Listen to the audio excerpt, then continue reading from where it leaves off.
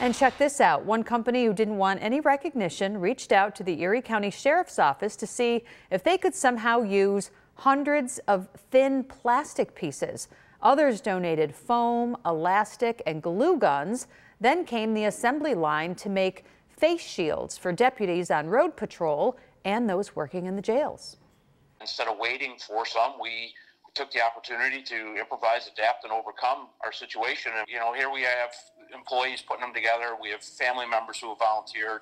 And uh, uh, it, that's just a Western New York story, how everybody's coming together. And well, the sheriff's office said they will share extra shields with other first responders.